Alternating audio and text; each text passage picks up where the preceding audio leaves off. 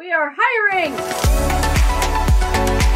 It's that time of year and we are amping up for the season, looking for passionate gardeners to add to our team. Do you love to be outside, working with the earth and beautifying your community? How would you like to do work that feeds your soul and strengthens your body? Even if you are new to plant care, we can help you learn what you need to know to be a successful gardener. Forget the stressful world of retail, restaurants, or cubicles and consider a career outside in the garden.